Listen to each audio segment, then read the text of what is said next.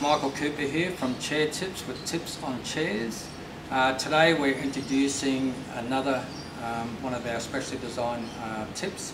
Uh, this is called our vintage tip. Um, it can really sort of look good on any designer chair. Um, this particular one has a tapered leg and it also is on an angle so it's if you want to sort of enhance the chair make it better for the floor so it doesn't scratch. This is a nylon surface so it can go on to, to any surface, like it can go on the timber, it can go on the bitumen, it can go on the cement and it actually, it, it will be a nice tight fit as it goes up so you've got to hit it on with a mallet, right, and it'll go right up the actual leg. So what happens with this, once it gets on a bit of an angle, it will swivel. Thank you.